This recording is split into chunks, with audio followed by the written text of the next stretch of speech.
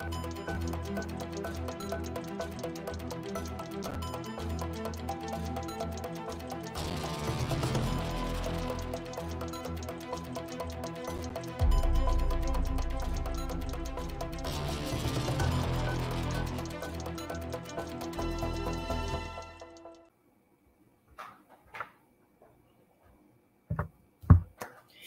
Hi, everybody. I want to thank you for tuning in for this Thursday's edition of The Missing uh, live stream. This is where we take a look at the cases that we've covered over the years for our series, The Missing. For those of you who don't know, The Missing is a series where we go back and we highlight and talk to the families of people who have vanished uh, or, you know, have come up missing without a trace from the Houston area.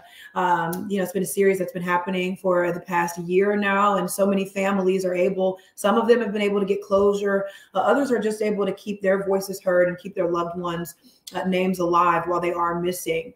Uh, so, right now, in today's edition, we're going to be speaking with the mother of Roberto Franco Jr. Um, he vanished under some some very interesting and alarming circumstances. So I want to begin by playing you guys a little clip from the story we did on Roberto Franco Jr.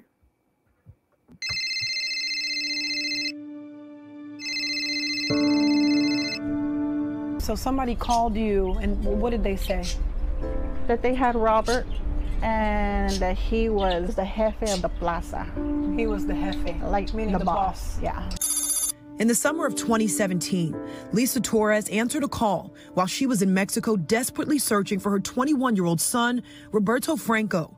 The person on the other line claimed they'd taken him and that if she paid, he'd be returned safely. Did you guys give these people money? My husband says, I'm going to pay because what if it's real? He goes, I'm not going to have that on my conscience where if I don't pay it, it really is him. Mm, very emotional. I want to bring in now uh, Lisa Torres. Uh, Lisa, thank you so much for joining us today. What is it like for you, kind of watching that that that part of the story back? Very emotional. It was very mm. emotional. It just took me back, you know, to uh, when it happened, and it's it's it's still so fresh. Yeah, and it's, it's you say it's still fresh. Now, it has been five years. Is it going on six now, or has it still been? You know, it's five years, correct? Right. It's going. Uh, it's a little bit more than five and a half years. Yes. Well, five years and eleven months. Yeah. And, and, for people who don't understand this um, or, or, the part about the payment, so Roberto went to Mexico and he went with a friend and they drove and they crossed at the, and correct me if I'm wrong, Agualeguas or the Los Indios border, correct? Los Indios, yes. Okay. Um, and after they crossed that border, no one knows what happened to this day. No, not even the police. N- no one. No one has come forward. Yeah. N- nothing. There's. It's like if the dirt just swallowed him.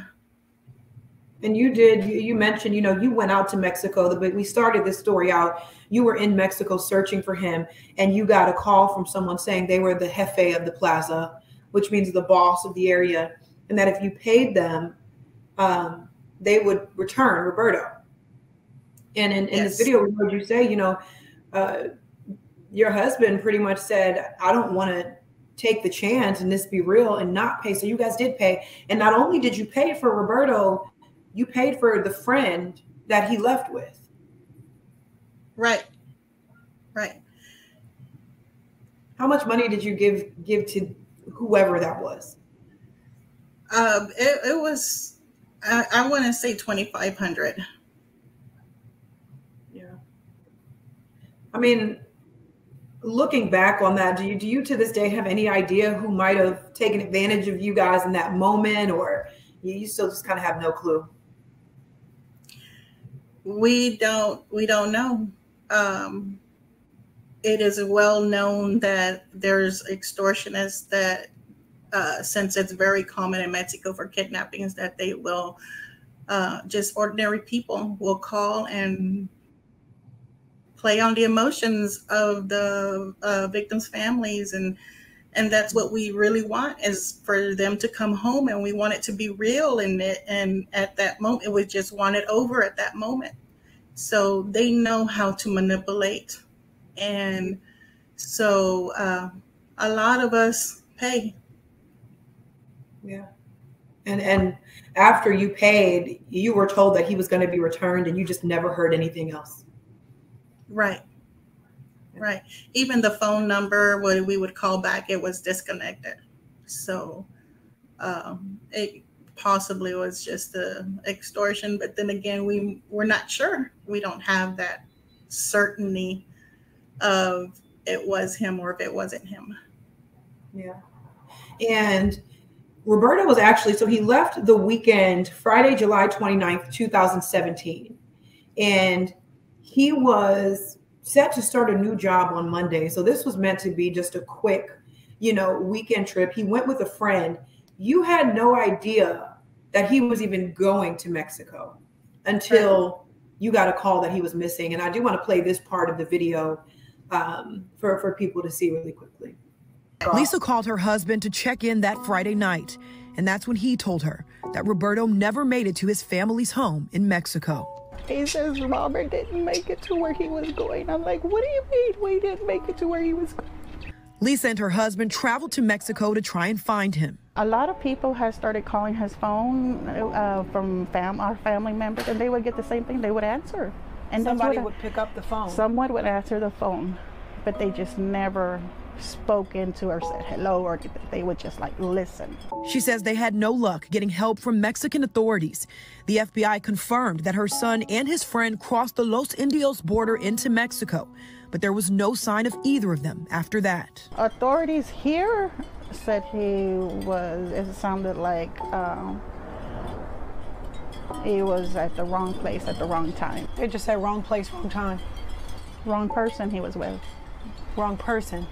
Mm-hmm. That was something that really stood out to me during our interview. You said all they all they could tell you was wrong place, wrong time, and then you said wrong person. Can you right to to this day elaborate on on what you meant by or what they might have meant by wrong person? Um, um, the FBI did mention that um, they look at their Facebooks and um, there was just some questions about the person that he was with. And so that's what the FBI came down to was the wrong person, wrong place, wrong time. But they couldn't give you any answers beyond that. No, it was just uh, what they said at the moment. Yeah. And I know I asked you this during the interview. I said, "Do you think that that the friend he went with was wrapped up in in, in something bad or caught up, you know, with bad people?" And you said, "You know, I'm, I'm not sure. I'm just I don't know." Has that changed?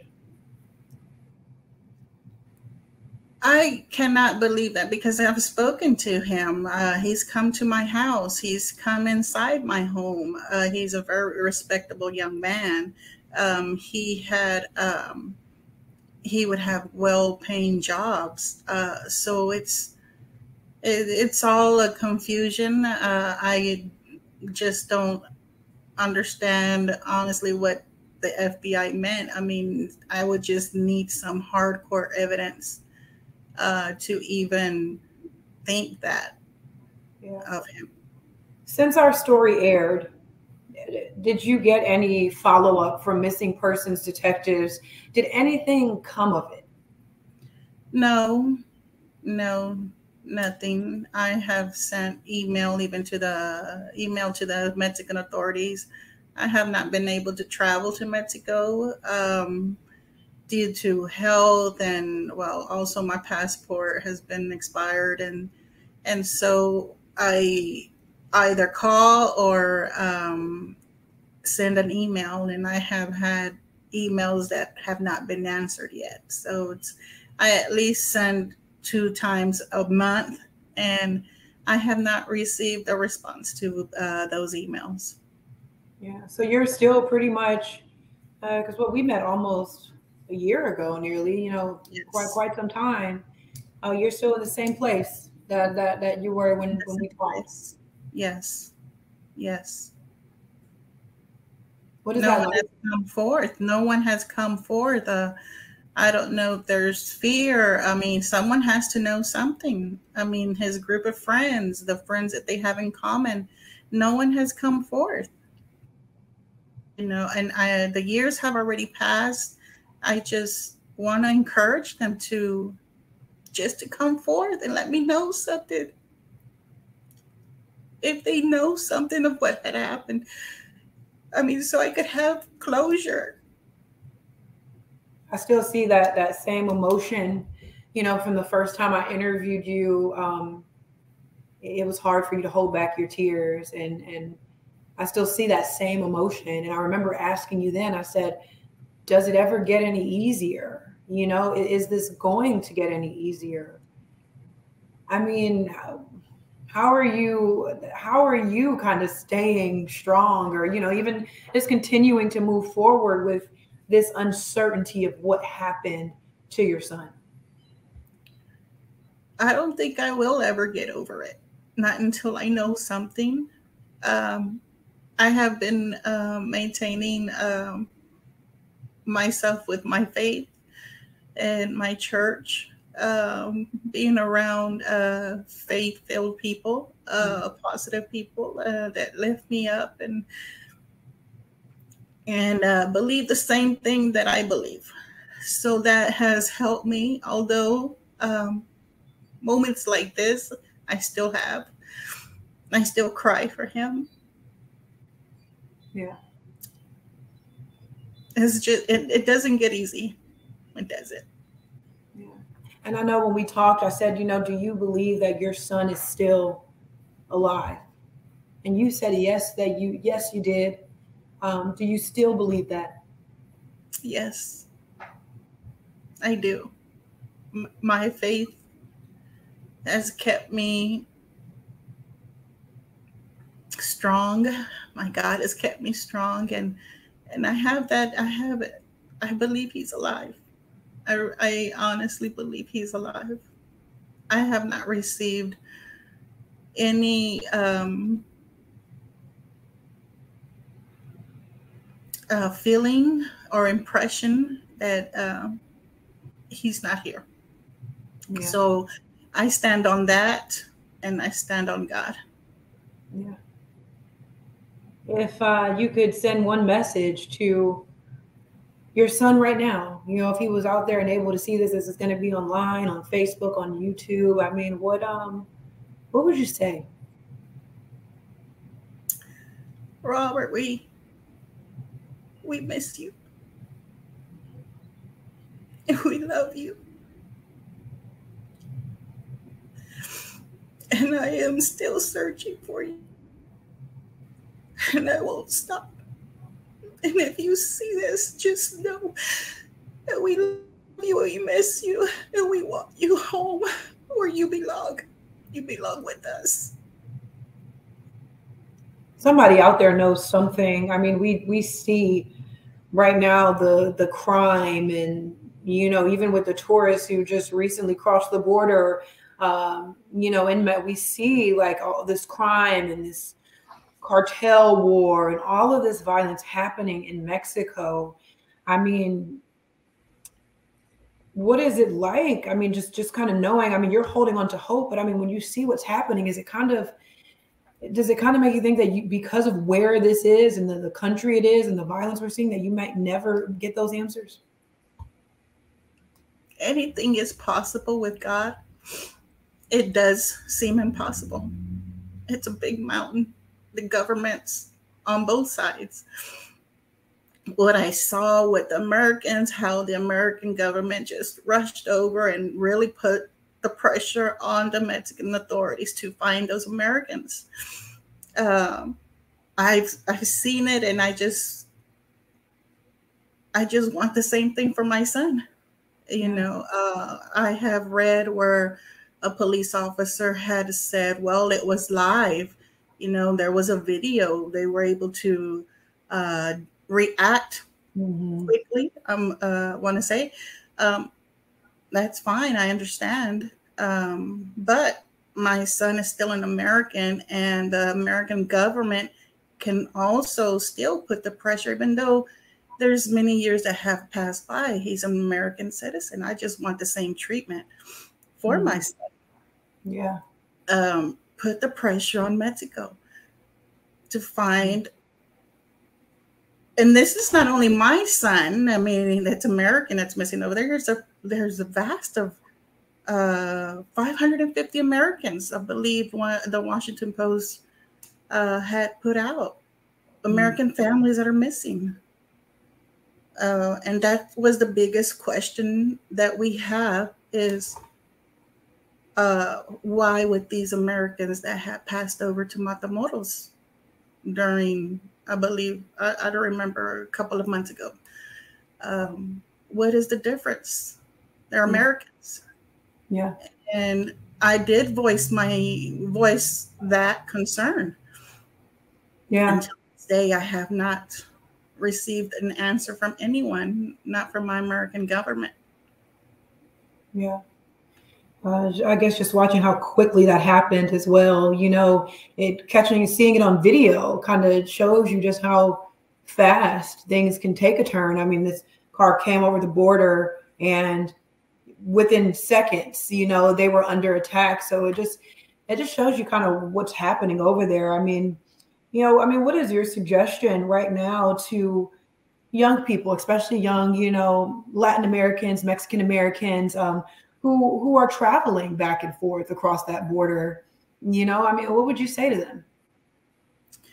You know, I was very puzzled about that uh, question because um, people are going to go, whether there's danger or not, whether is there uh, the U.S.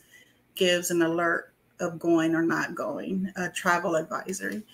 Um, the thing I would, the, the advice I would give is if they go to Mexico to leave all their accounts open, all their passwords mm. to their loved ones, just as a precautionary uh, uh, just as a precautionary because you just never know or even get i i know there's these uh apps where you could be followed mm. you know it shows your movement even mm. that you know there's in that sense and i say that because sometimes i believe people don't believe it can happen to them i didn't think it could happen to me i didn't think it could happen to my son yeah. You know, I, I mean, although there, you know, there's a travel advisory, we, you know, we still go. We have family over there. Right. It's home. So, right. So I, I, that would be my advice is to have some kind of app that can follow you and it'll alert the people over here, leave your give your accounts, passwords, just in case. That's a precautionary tool resource. Yeah. Lisa, thank you so much for for taking the time out to do this. Um, we wanted to make sure, you know, we we got around to to update on this case, and I mean, you know, we're we're still, you know, waiting for good news. You know, like you said, anything is possible with God. I do believe that, and I do believe that that faith is very important. So we are we are hoping to to one day have a positive update uh, to, to, to your yes. story. Thank um, you so much. Of course, thank you for being here. And for everyone at home watching this who'd like to see the full story for Roberto Franco Jr., or for the dozens of people who have gone missing with no answers from the greater Houston area, head over to fox26houston.com, uh, go to news, and you'll see a section for the missing. There you can look at all of the missing people, take some time, scroll through uh, uh, that page because you never know. You might see a story and you might recognize someone. Uh, you know, really takes everybody. It's going to take a village to get some of these people home and to bring these mothers, these fathers, these families closure. Uh, so again, thank you all for watching. Uh, thank you, Lisa, for, for being here. And again, fox26houston.com. And we will have uh, another uh, episode of The Missing airing uh, next Thursday. So make sure you guys stay tuned for that. You can also head over to my Facebook and Twitter pages, Gabby Hart News, to stay up to date on when certain things will be airing.